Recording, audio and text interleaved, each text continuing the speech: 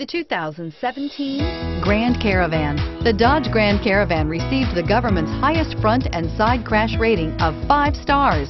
Its vast interior is widely praised, with an innovative seating arrangement, versatile cargo storage, and enough entertainment features to keep the kids entertained on road trips, and is priced below $20,000. This vehicle has less than 50,000 miles. Here are some of this vehicle's great options.